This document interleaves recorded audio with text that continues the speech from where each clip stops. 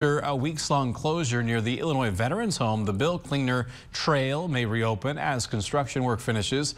A storm drain collapsed several months ago, leading to the need for the repairs. Negotiations had to take place between the Veterans Home, the city, and the railroad before the work could begin, though. Veterans Home officials say they tried to limit the impact to the trail due to its popularity.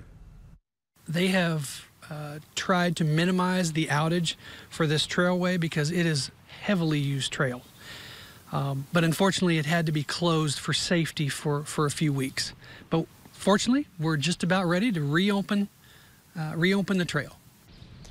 Weather permitting, the trail could reopen as early as next Friday.